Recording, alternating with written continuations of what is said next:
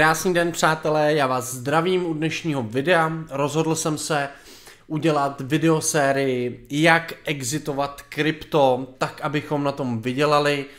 Já mám za sebou dva bullruny, tři bear markety a mám, nebo cítím, osobně jsem za sebe obrovskou zodpovědnost za lidi, kteří v následujícím roce přijdou do kryptoměn. Já mě strašně vždycky mrzí, když vidím, jak eh, někdo zůstane prostě v tom bear marketu a ztrácí tam 90% a pak prostě z toho uteče.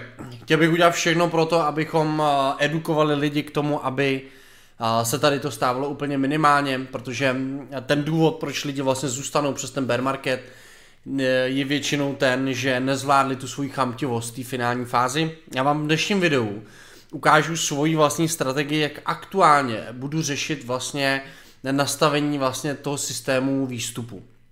Nutno dodat, že technická analýza je jenom nějaká pravděpodobnost. Nikdo z nás nemá křišťálovou kuli, nikdo z nás neví s jistotou, kam grafy půjdou, ale vzhledem k tomu, že obchodujeme na těch trzích, tak my ty scénáře a ty analýzy mít prostě musíme připravený.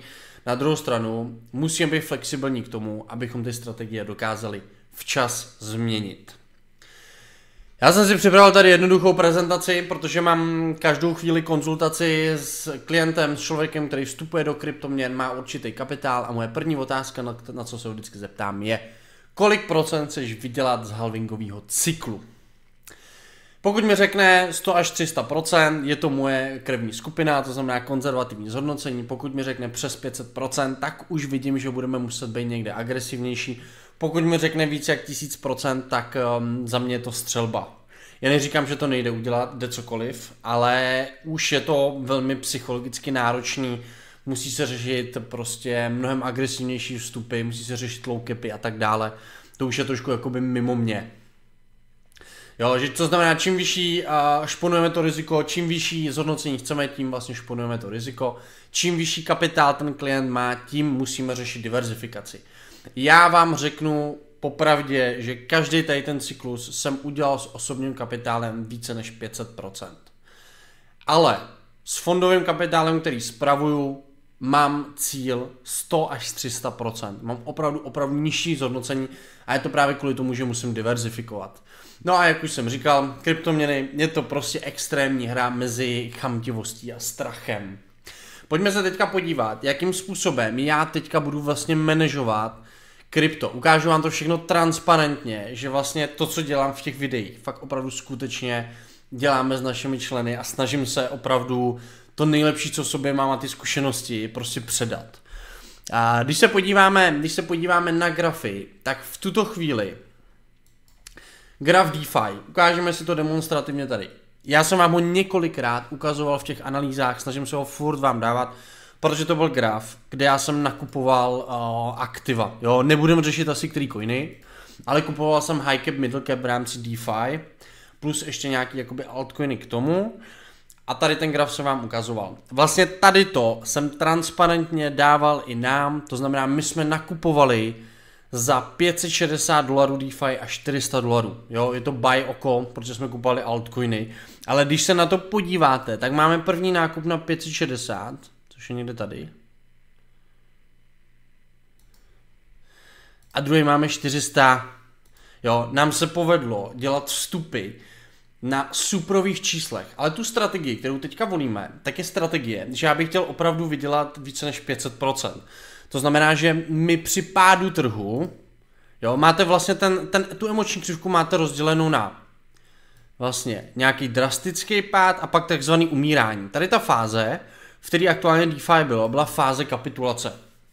V ten moment prostě už nikdo jakoby už nikdo neřešil a právě, že my jsme tam jakoby nakupovali. Jo, veřejně jsme to dávali na YouTube, můžete si to najít v historických videích, tady jsme nakupovali. A v tuto chvíli já jsem tam dal jasně daný profity, ještě co chci od toho trhu. Já očekávám v tuto chvíli, že přijde malá alt season, takže už při těch vstupech jsem měl dopředu jasně komunikovaný profit, kde jsem přímo psal, že budu chtít vystupovat ve finálním profitu tady. Protože zde je situace, která vlastně kopíruje Bitcoin. Jo? Bitcoin se víceméně dostal tady na tu, tady na tu rezistenci a tam já budu mít finální jakoby profity. Jo, pak mám ještě částečný profit a ten je na hraně toho akumulačního profilu. To jsou, to jsou to ten první profit a ten je tady. Jo, ten mám zde, tam už se blížíme. Jo, to znamená, tohle je můj první profit, tohle je můj finální profit z takzvané malé alt season. Já nedržím to portfolio na celý bullrun, já tady dva roky prostě nebudu držet tyhle ty altcoiny, protože já držím altcoiny z minulého cyklu. Každý cyklus jsou jiný altcoiny v ranu, jo, jiný altcoiny udělají, když se podíváte, já nevím, dám příklad, Ethereum, druhý, třetí cyklus, tak vždycky Ethereum to procentuální zhodnocení oproti těm novým coinům udělá prostě vyšší. Každý ten trend v tom cyklu je prostě jiný a ty coiny tam udělají jiný procenta v rámci toho trendu, než ty, než ty coiny, které prostě jsou dinosauří z těch minulých cyklů. Jo? Ty altcoiny prostě udělají větší procenta než BTC. To znamená, že já tady držím, tady na tu malou alt season, coiny z minulého cyklu, které jsou zajímavé. A v tuto chvíli tady na tom jakoby budu vystupovat. Jo? Držím middle cap, high cap v rámci DeFi a tady mám první profit, druhý. Prostě jasně daný. Riziko, který jsem říkal, tak je kolem 50% z tady těch dvou nákupních levelů. A výstup mám teďka uh, nějakých 100-150%. Já tam cílu 100 až 200%, tady na tu takzvanou malou alt season. Jo, já čekám, že prostě DeFi dorazí sem, když budeme mít velký štěstí a přijde, přijde opravdu dominance, nějaká sekera, tak se může stát, že prostě doletíme až sem. V tuto chvíli jsem pryč. Jo, teďka jsme řešili ještě s Ivem to, že vlastně vezmeme tady ty zisky. Já jsem dneska třeba ukončoval už první vlaštovku. To byl run, 140%. Opravdu to, co tam dává, tak všechno je teďka realita. 140% jsme pryč z runu a ten kapitál budeme přelejvat teďka do middle cap, low capu. Jo, middle cap, low cap, asi tři coiny, zase půjdeme si tam pro nějaký vyšší zhodnocení, dáme tam zase méně kapitálu, tři možný nákupy, kdyby si Bitcoin vzal svoji dominanci. Jo, to znamená, aktuálně máme jasně daný výstupy z DeFi a tam bereme jasný zisky. Já nechci teďka v horizontu 6 měsíců ziskovost, a i kdyby mi to uletělo, jo, já vám ten klidně ukážu prostě, já vám ho ukážu, jo, tady jsem vzal ten profit o něco dříve, protože mi to těsně nehytlo ten první profit, vzal jsem to ručně, druhý profit máme tady nahoře. Jo, to je ten jakoby ten finální profit vlastně tady na té gapové křivce. Tady to je vlastně hrana, hrana toho celého té fáze umírání a tady to je ta gapová struktura. Jo, takže tohle to jsou aktuálně moje výstupy, už se mi pomalinku začínají některý aplikovat. A vzal jsem mi krásný zisk na Soláně před chvílí, prostě líbí se mi ty trhy, ale brát zisky. Berte zisky. Pro mě je tohle to malá alt season, tohle pro mě není finálka a finálka strategie budu dělat znova. Jo, já očekávám, že tady seberu zisky 100 až 200%, počkám na korekci, když korekce nepřijde, budu nakupovat mnohem díl. Jo, já jsem minulý cyklus, a to vám říkám fakt upřímně, víte, kde jsem kupoval Cardano? Já jsem, já jsem začal kupovat altcoiny minulý cyklus, když Bitcoin byl uh, kolem 20 000 dolarů. Pozor, Jo, to je strašně důležitý. A stejně jsem dokázal vygenerovat s vlastním kapitálem více než 500% a s cizím kapitálem nějakých, nějakých 200, jo, nebo skoro 200%. A to právě díky tomu, že jsem nakupoval fakt až na 20. Takže to není, když vám lidi říkají, hele, ty už nekupuj Bitcoin, to má smysl, už jako uletěl. Pokud má někdo cíl udělat 200% profit, tak vůbec se nestresujte. Jo, důležitý je mít tu strategii, ten cíl. V momentě, kdy vstupujete do trhu a dáváte si cíl vydělat nějaký peníze, tak v ten moment musíte mít prostě výstupní strategii. Jinak to, jinak to začnete furt posouvat. Ta chamtivost v ten moment je tak silná, tak obrovská. I pro mě, který jsem zkušený na těch trzích 18 let.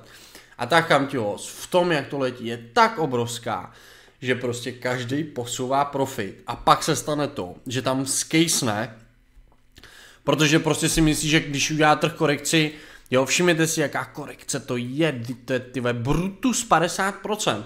A když už to je 50% minus, tak si říkáte, no a to, to už se nemá, to už nemá smysl vystupovat, že jo. A tam to je nejhorší věc, co se může stát. Musíte mít exitovou strategii. Teď jsem vám ukázal moji strategii na následujících 6 měsíců. Já neříkám, abyste ji kopírovali. Já říkám, že ta strategie je nastavená tak, abych teďka viděl 100 až 200% zisku a já budu spokojený, protože pak mě čeká ten velký buran a já už si z toho buranu zase můžu vzít jenom kousek. A proč si můžu vzít kousek? Protože co je doma, to se počítá, pánové. Takže přemýšlejte nad svojí exitovou strategií, promyslete to a mějte ji nastavenou a opravdu nechci a řešit s lidma další bear market, že tam zůstali. Ano, stane se to, lidi tam zůstanou. Ale každý máme svoji palici. Někdo jde hlavou proti zdi a prostě chce ten první cyklus být v mínusu. Potřebuje si tím projít, aby prostě získal ty zkušenosti, aby ho to motivovalo. Ono se to pravděpodobně jako u nějaký části lidí stane. Ale já bych rád, abyste mi do komentáře napsali vaši exitovou strategii pro vlastně aktuální Blue Run, jo. Já vám moji finální exitovou strategii řeknu v příštím videu. Tohle to je na malou alt season moje strategie, která nám začíná vycházet perfektně. Máme perfektní vstupy, už tam máme první uzavřený coiny a už jenom čekáme na profity a začínáme předívat middle cap, high cap do middle cap, low capu, který už teďka jakoby i ohledá a připravuje a možná dokonce se stane i to, že vyděláme víc. Ale to už je třešnička dortu, to už je třešnička dortu, ale to, co kde já potřebuji je 100 až 200% zisku, boom, beru a budu se připravovat na finální fázi bullrunu. Ode mě to je dneska všechno. A já tady ty exitové videa budu dělat fakt jako často, protože potřebuji, aby to opravdu lidi dostali do hlavy. A vy mi nechte komentář pod videem, kde mi napište, jakou máte exitovou strategii pro vaše vstupy, které jsou v trhu. Děkuji vám za pozornost a děkuji vám za to, pokud pomůžete každému člověku vedle vás a, skriptem a vlastně nějakým způsobem vyřešit tuhle tu emoční mašinu, která krypto prostě a běžný člověk se prostě neumí tady v tom pohybovat.